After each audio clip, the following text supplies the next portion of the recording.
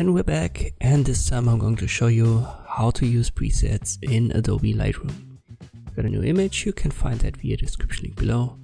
Before I go to the edit I want to crop it a little bit.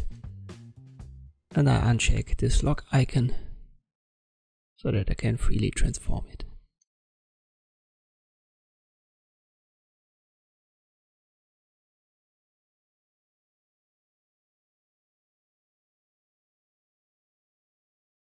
Maybe up to here, that should be fine. I press enter and I'm automatically in the edit menu. Press E if you're not. Could use auto. I don't like the results, but we've got presets down here. Simply left click on it. And now we've got this default menu. You can click on the settings, hide partially compatible presets, which shouldn't be of your concern when you've got the defaults. Let's go to manage and we'll uncheck one, vignetting.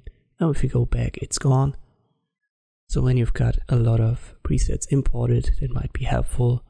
But when you've got the defaults, it's no problem. You've got enough overview. You can also create your own, but let us play with the ones that we've got If you hover over them, they are automatically applied. Let me open the light menu and you can see the sliders. They are automatically adjusted by the presets. And if I select one, for example this, this one under color, and I go to the creative ones and, and let me pick this red lift.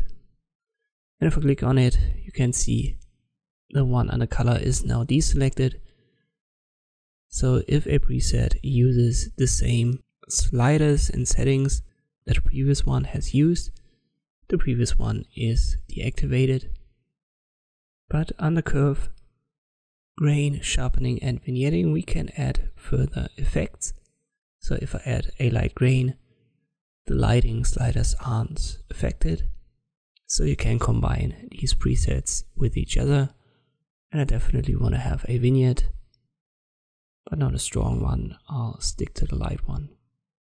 And I want to make it a little bit lighter. Uh, let me increase the exposure manually.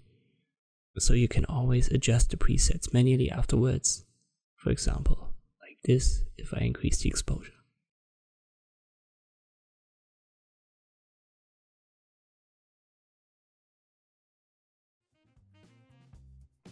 And this is how you can use the presets in Adobe Lightroom.